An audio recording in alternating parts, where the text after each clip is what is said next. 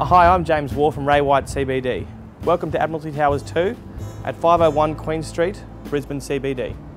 This delightful two bedroom, two bathroom property sits aloft on the 24th floor, 116 square metres of open plan living with views straight over the Story Bridge.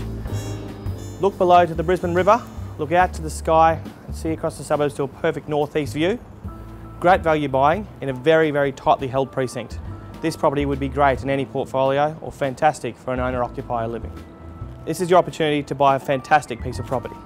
Thanks very much for your time watching this video. I look forward to hearing from you and please call me anytime with any questions you may have.